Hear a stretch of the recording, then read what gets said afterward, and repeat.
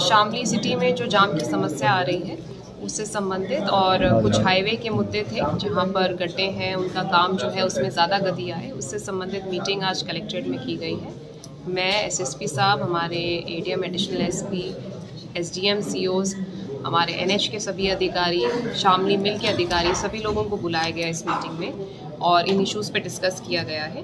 कुछ इंस्ट्रक्शंस भी दी गई हैं। हम लोग प्रयास करेंगे कि जो जाम की सिचुएशन पिछले कुछ हफ़्ते, पिछले हफ़्ते में बनी थी इस सिटी में, वो दोबारा सिचुएशन ना बने। उसके लिए चीनी मिल को कुछ निर्देश दिए गए हैं कि वो अपने यार्ड की व्यवस्था करें। यार्ड थोड़ा एक्सटेंड करें ताकि जो ट्रॉलियाँ सड़क जाम करती हैं, उनके यार्ड में पहले ही अंदर हो जाएँ और बाज़ारों में खड़ी ना रहें। इसके अलावा जो ब्रेकडाउन शामली मिल में हो रहा है, उसका कुछ टेक्निकल सोल्यूशन वो देखें कि बार बार ब्रेकडाउन ना हो।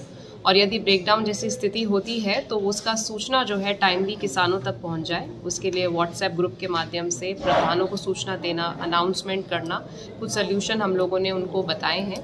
उस पर ये व्यवस्था जो है ये करेंगे।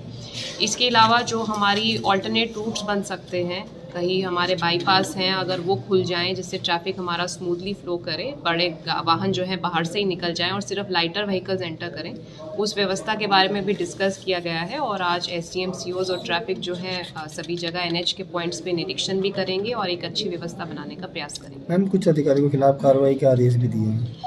शामली चीनी मिल को पहले तो ये निर्देशित किया गया है कि वो अच्छी व्यवस्था बनाएँगे अदरवाइज़ उनके खिलाफ भी कार्रवाई की जाएगी। इसके अलावा एनएच के जो अधिकारी आए थे यहाँ पर आ, कुछ पत्रकारों के माध्यम से भी और जो हमें वैसे भी इनपुट मिलता है कि जहाँ सड़कों पे गड्ढे हैं उसके संबंध में मेरठ करनाल और पानीपत कटीमा जो हमारे हाईवेज हैं उनके अधिकारियों को निर्देशित किया गया है कि आज ही समस्या का समाधान कराएँगे जहाँ गड्ढे हैं अन्यथा उनके खिलाफ कार्रवाई की जाएगी।